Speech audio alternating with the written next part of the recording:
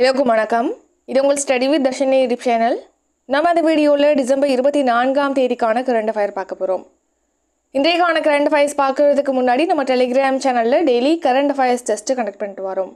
நீங்கள் என்ன ஜாயின் பண்ணலன்னா டிஸ்கிரிப்ஷனில் டெலிகிராம் லிங்க் கொடுக்குறோம். ஜாயின் பண்ணிக்கோங்க. லிங்க் ஓப்பன் ஆகலைன்னா டெலிகிராம் ஆப் ஓப்பன் பண்ணி நம்ம channel name study with Darshini அப்படின்னு சர்ச் பண்ண ஜாயின் பண்ணிக்கோங்க. முதல் கேள்வி ஆதித்யா எல் ஒன் விண்கலம் எந்த நாளில் எல் ஒன் புள்ளியில் நிலைநிறுத்தப்பட உள்ளது? ஆன்சர் ஆப்ஷன் பி ஜனவரி ஆறு. ஸோ வர ஜனவரி ஆறாம் தேதி பார்த்தீங்கன்னா ஆதித்யா எல் ஒன் விண்கலம் வந்து எல் ஒன் புள்ளியில் நிலைநிறுத்தப்படும் அப்படின்னு சொல்லிட்டு இஸ்ரோ தெரிவிச்சிருக்கு.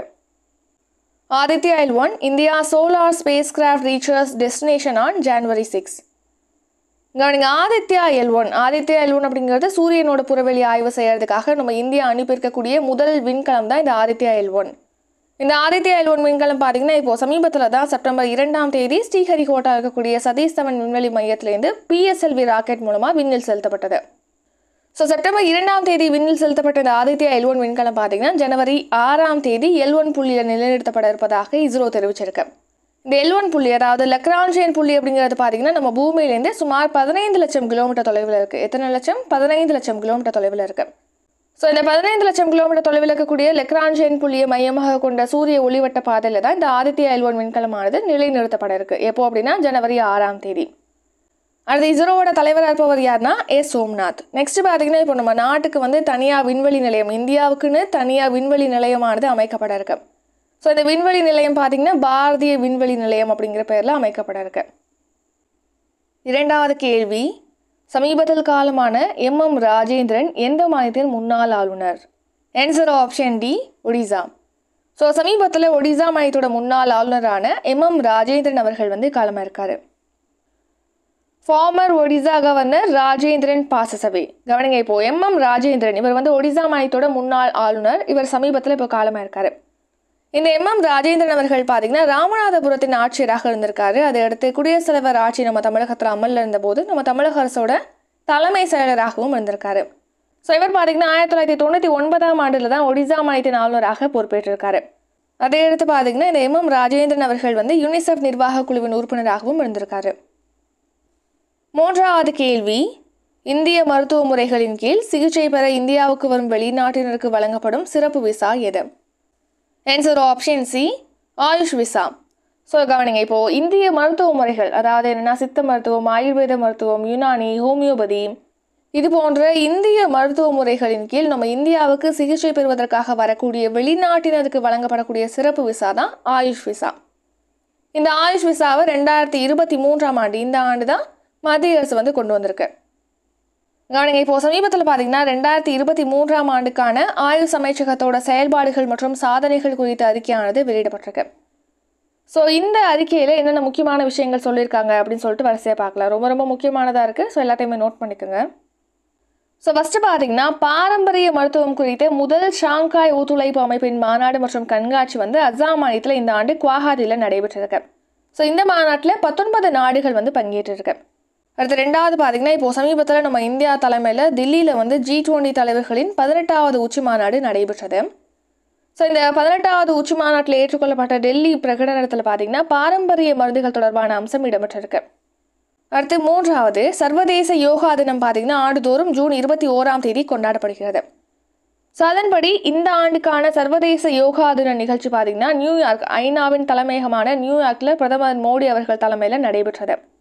ஸோ பிரதமர் மோடி அவர்கள் தலைமையில் நடைபெற்ற இந்த சர்வதேச யோகா தின நிகழ்ச்சியில் பார்த்தீங்கன்னா இருவேறு கின்னஸ் உலக சாதனைகளானது படைக்கப்பட்டிருக்கு. இதை நம்ம கரண்ட் அஃபேர்ஸ்லேயே பார்த்துருப்போம் ஸோ ஜூன் இருபத்தி ஓராம் தேதி இந்த ஆண்டு ஒன்பதாவது சர்வதேச யோகா தினம் கொண்டாடப்பட்டிருக்கு. இந்த சர்வதேச யோகா தினத்தை ஒட்டி பார்த்தீங்கன்னா யோகாவின் பெருங்கடல் வலயம் அப்படிங்கிற முன்னெடுப்பானது எடுக்கப்பட்டிருக்கு. அதாவது ஆங்கிலத்தில் ocean ring of yoga so இந்த முன்னெடுப்பின் படி பார்த்தீங்கன்னா இந்திய பெருங்கடலில் பத்தொன்பது இந்திய போர்க்கப்பல்கள் நிறுத்தப்பட்டு அந்த போர்க்கப்பல்களில் சர்வதேச நாடுகளை சேர்ந்த வீரர்களுக்கு யோகா பயிற்சி அளிக்கப்பட்டிருக்கு. அடுத்து பார்த்தீங்கன்னா இந்த வருஷம் ஆகஸ்ட் மாதம் உலக சுகாதார அமைப்பு சார்பில் குஜராத் மாநிலத்தின் காந்தி நகரில் பாரம்பரிய மருத்துவம் குறித்த முதல் உலகளாவிய உச்சி மாநாடு நடத்தப்பட்டிருக்கு. ஸோ இந்த மாநாட்டில் பாரம்பரிய மருத்துவத்தோட முக்கியத்துவம் மற்றும் அதை செயல்படுத்துவதை வலியுறுத்தி குஜராத் பிரகடனமானது வெளியிடப்பட்டிருக்கு. அடுத்த நவம்பர் பத்தாம் தேதி ஆயுர்வேத தினமானது அனுசரிக்கப்படுகிறது. Next AYUSH visa. ஸோ இந்த ஆண்டு தான் மத்திய அரசு வந்து இந்த ஆயுஷ் விசாவை வந்து அறிமுகப்படுத்தியிருக்கு. இப்போ இந்திய மருத்துவ முறைகளின் கீழ் நம்ம இந்தியாவுக்கு சிகிச்சை பெறுவதற்காக வரக்கூடிய வெளிநாட்டினருக்காக தான் இந்த சிறப்பு விசாவானது அறிமுகப்படுத்தப்பட்டிருக்கு. மேலும் இந்த ஆயுஷ் விசா வந்து நம்ம இந்தியாவை ஒரு மருத்துவ மையமாக மாற்றிருக்கு அப்படின்னும் தெரிவிச்சிருக்காங்க. நெக்ஸ்ட் இந்த வருஷம் பார்த்தீங்கன்னா முதல் பத்து மாதங்களில் ஆறு புள்ளி தொண்ணூற்றி ஒரு கோடி மக்கள் வந்து ஆயுஷ் சுகாதாரம் மற்றும் நல்வாழ்வு மையங்களில் பயனடைஞ்சிருக்காங்க அப்படின்னு சொல்லிட்டு தெரிவிச்சிருக்காங்க. நான்காவது கேள்வி இந்தியாவில் மொத்தம் எத்தனை கருப்பு நிற புலிகள் உள்ளன? ஆன்சர் ஆப்ஷன் ஏ பத்து. ஸோ நம்ம இந்தியா முழுக்கவே பார்த்தீங்கன்னா மொத்தமாக பத்து கருப்பு நிற புலிகள் தான் இருக்குது அப்படின்னு சொல்லிட்டு தெரிவிச்சிருக்காங்க. மேலும் இந்த பத்து புலிகளுமே ஒடிசா மாநிலத்தில் இருக்குது அப்படின்னு சொல்லிட்டு தெரிவிச்சிருக்காங்க. Ten black tigers found in India all in Odisha Similipal reserve கவனிங்க நம்ம இந்தியாவில் ஒட்டுமொத்தமாக பார்த்தீங்கன்னா பத்து கருப்பு நிற புலிகள் தான் இருக்குது அப்படின்னு சொல்லிட்டு தெரிவிச்சிருக்காங்க. ஸோ இந்த பத்து கருப்பு நிற புலிகளுமே பார்த்தீங்கன்னா ஒடிசா மாநிலத்தின் சிம்லிபால் வனப்பகுதியில் இருப்பதாக தெரிவிச்சிருக்காங்க. ஸோ இந்த கருப்பு நிற புலிகள் வந்து மிக அரிதான வகையை சேர்ந்தது. ஸோ இந்த புலிகளில் வந்து செல்களில் ஏற்பட்டிருக்கக்கூடிய மரபணு மாற்றம் தான் இந்த கருப்பு நிற புலிகளோட நிற மாற்றத்துக்கு காரணம் அப்படின்னு சொல்லிட்டு தெரிவிச்சிருக்காங்க. ஐந்தாவது கேள்வி ஐநா பாதுகாப்பு கவுன்சில் எத்தனை உறுப்பினர்களை கொண்டது? ஆன்சர் ஆப்ஷன் பி பதினைந்து. ஸோ ஐநா பாதுகாப்பு கவுன்சில் பார்த்தீங்கன்னா ஒட்டுமொத்தமாக பதினைந்து உறுப்பினர்களை கொண்டது. அதில் ஐந்து உறுப்பினர்கள் வந்து நிரந்தர உறுப்பினர்கள் பத்து வந்து நிரந்தரமற்ற உறுப்பினர்கள். UN security council passes resolution on increased Gaza aid delivery கவனிங்க ஐநா பாதுகாப்பு கவுன்சில் அப்படிங்கிறது மொத்தமாக பதினைந்து உறுப்பினர்களை கொண்டது. அதில் ஐந்து உறுப்பினர்கள் வந்து நிரந்தர உறுப்பினர்கள் பத்து நிரந்தரமற்ற உறுப்பினர்கள். உங்களுக்கான கேள்வி? அந்த ஐந்து நிரந்தர உறுப்பினர்கள் யார்? அதாவது எந்த நாடுகள் நிரந்தர உறுப்பினர்களாக இந்த ஐநா பாதுகாப்பு கவுன்சிலில் இருக்குது இதுக்கான ஆன்சரை கமெண்ட் பண்ணிடுங்க இப்போது இந்த ஐநா பாதுகாப்பு கவுன்சிலில் பார்த்தீங்கன்னா இப்போ ஒரு தீர்மானம் நிறைவேற்றியிருக்காங்க என்ன தீர்மானம்னா இப்போது காசாவில் வந்து இஸ்ரேல் போர் தொடுத்து அந்த போர் நடைபெற்று வருது. ஸோ இந்த நிலையில் காசாவில் வசிக்கக்கூடிய பொதுமக்களுக்கு வந்து கூடுதல் நிவாரண உதவிகளை தடையில்லாமல் அளிக்க வலியுறுத்தும் தீர்மானம் தான் இப்போது ஐநா பாதுகாப்பு கவுன்சிலில் நிறைவேற்றப்பட்டிருக்கு. ஸோ இந்த தீர்மானத்தை வந்து ஐக்கிய அரபு அமீரகம் தான் கொண்டு வந்திருக்கு. ஆறாவது கேள்வி பாகிஸ்தானின் முதல் இந்து பெண் டிஎஸ்பியாக தேர்ந்தெடுக்கப்பட்டவர் யார்? Answer option B Manisha Ropeta. So இப்போ பாகிஸ்தான் நாட்டில் பார்த்தீங்கன்னா முதல் இந்து பெண் டிஎஸ்பியாக மனிஷா ருபேடா வந்து தேர்வு செய்யப்பட்டிருக்காங்க. Manisha Ropeta Pakistan's first female Hindu DSP கவனிங்க இப்போ பாகிஸ்தானின் முதல் இந்து பெண் டிஎஸ்பியாக மனிஷா ருபேடா வந்து தேர்வு செய்யப்பட்டிருக்காங்க. இந்த மனிஷா ருபேடா பார்த்தீங்கன்னா சிந்து மாகாணம் பாகிஸ்தானின் சிந்து மாகாணத்தில் தான் துணை காவல்துறை கண்காணிப்பாளராக தேர்வு செய்யப்பட்டிருக்காங்க. இப்போ பாகிஸ்தானை பொறுத்த வரைக்கும் பார்த்தீங்கன்னா இங்கே தொண்ணூற்றி ஆறு புள்ளி நாற்பத்தி ஏழு சதவீத மக்கள் வந்து இஸ்லாமிய மதத்தவர்களாக இருக்காங்க.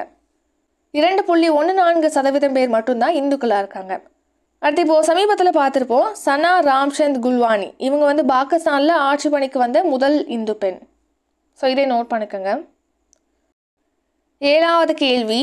ப்ளூம்பெர்க் அறிக்கையின்படி ஆசியாவில் வெளிநாடுகளை சேர்ந்தவர்கள் வாழ சிறந்த நகரமாக எந்த நகரம் உள்ளது? Answer option B Tokyo so இப்போது ஜப்பான் நாட்டின் தலைநகரான டோக்கியோ தான் இப்போது ஆசியாவில் வெளிநாடுகளை சேர்ந்தவங்க வாழ்கிறதுக்கு சிறந்த நகரமாக இருக்குது அப்படின்னு சொல்லிட்டு ப்ளூம்பெர்க் ஆய்வறிக்கையில் தெரிவிச்சிருக்காங்க. Best places for experts to live in Asia salary cost of living taxes கவனிங்க இப்போது சமீபத்தில் பார்த்தீங்கன்னா ப்ளூம்பெர்க் வந்து சம்பளம் வாழ்க்கை செலவு விலைவாசி வரி. இது போன்ற பத்து மதிப்பீடுகள் அடிப்படையில் வந்து ஆசியாவில் வெளிநாடுகளை சேர்ந்தவங்க வாழ்கிறதுக்கான சிறந்த நகரங்கள் தரவரிசையை வெளியிட்டிருக்கு. அந்த தரவரிசையில் டோக்கியோ ஜப்பான் நாட்டின் தலைநகரான டோக்கியோ வந்து முதலிடத்தை பிடிச்சிருக்கு. ரெண்டாவது இடத்துல ஹாங்காங் இருக்குது மூன்றாவது இடத்துல ஷாங்காய் இருக்குது நான்காவது இடத்துல சிட்னி இருக்குது ஐந்தாவது இடத்துல சிங்கப்பூர் இருக்குது எட்டாவது கேள்வி தேசிய நுகர்வோர் உரிமைகள் தினம் எந்த நாளில் அனுசரிக்கப்படுகிறது? ஆன்சர் ஆப்ஷன் டி டிசம்பர் இருபத்தி நான்கு. சான்றுதோறும் டிசம்பர் இருபத்தி நான்காம் தேதி இந்த தேசிய நுகர்வோர் உரிமைகள் தினமானது அனுசரிக்கப்படுகிறது. நேஷனல் கன்சியூமர் ரைட்ஸ் டே தேசிய நுகர்வோர் உரிமைகள் தினம். சான்றுதோறும் டிசம்பர் இருபத்தி நான்காம் தேதி நுகர்வோர் பாதுகாப்பு குறித்த விழிப்புணர்வு மக்களிடையே ஏற்படுத்துறதுக்காக இந்த தேசிய நுகர்வோர் உரிமைகள் தினமானது அனுசரிக்கப்படுகிறது. ஸோ நம்ம இந்தியாவில் நுகர்வோர் பாதுகாப்புக்காக ஆயிரத்தி தொள்ளாயிரத்தி எண்பத்தி ஆறாம் ஆண்டு நுகர்வோர் பாதுகாப்பு சட்டமானது இயற்றப்பட்டது. ஸோ இந்த நுகர்வோர் பாதுகாப்பு சட்டம் பார்த்தீங்கன்னா நுகர்வோருக்கான பாதுகாப்பு தகவல் பெறுதல் விருப்பத்தினை தேர்வு செய்தல் அடிப்படை தேவை பெறுதல் நுகர்வோர் கல்வி பெறுதல் கேட்டறிதல் குறைதீர்ப்பு வலியுறுத்தல் ஆகிய உரிமைகளை நுகர்வோர்களுக்கு வழங்குகிறது. நெக்ஸ்ட் இப்போ தேசிய நுகர்வோர் உரிமைகள் தினம் வந்து டிசம்பர் இருபத்தி நான்காம் தேதி அனுசரிக்கப்படுது அப்படின்னு சொல்லி பார்த்தோம். உலக நுகர்வோர் உரிமைகள் தினம் எப்போ அனுசரிக்கப்படுது அப்படின்னா மார்ச் பதினைந்தாம் தேதி. அடுத்து பார்த்தீங்கன்னா நம்ம யூடியூப் சேனல்லேருந்து ஒவ்வொரு மந்த்துக்கும் மந்த்லி கரண்ட் அஃபேர்ஸ் பிடிஎஃப் வந்து ப்ரொவைட் பண்ணுறோம் ஸோ டிஸ்கிரிப்ஷனில் ஒவ்வொரு மந்த்துக்கான ப்ரைஸ் அமௌண்ட் டீட்டெயில்ஸ் வந்து கொடுத்துருக்கோம். உங்களுக்கு எந்த மந்த் வேணுமோ அந்த மந்த்துக்கு டிஸ்கிரிப்ஷனில் இருக்கக்கூடிய Google Pay PhonePe Paytm UPI எண்களை பயன்படுத்தி இந்த ப்ரைஸ் அமௌண்ட்டை வந்து செலுத்திட்டு அதற்கான ஸ்க்ரீன்ஷாட்டை டிஸ்கிரிப்ஷனில் கூடிய வாட்ஸ்அப் நம்பருக்கு சென்ட் பண்ணுங்கள் சென்ட் பண்ணிட்டீங்கன்னா உங்களுக்கான மந்த்லி கரண்ட் அஃபேர்ஸ் பிடிஎஃபை நாங்கள் சென்ட் பண்ணிடுவோம். ரிவிஷன் முதல் கேள்வி. ஆதித்யா எல் ஒன் விண்கலம் எந்த நாளில் எல் ஒன் புள்ளியில் நிலைநிறுத்தப்பட உள்ளது? ஆன்சர் ஆப்ஷன் பி ஜனவரி ஆறு. இரண்டாவது கேள்வி. சமீபத்தில் காலமான எம் எம் ராஜேந்திரன் எந்த மாநிலத்தின் முன்னாள் ஆளுநர்? Answer option D Odisha. மூன்றாவது கேள்வி இந்திய மருத்துவ முறைகளின் கீழ் சிகிச்சை பெற இந்தியாவுக்கு வரும் வெளிநாட்டினருக்கு வழங்கப்படும் சிறப்பு விசா எது? Answer option C AYUSH visa.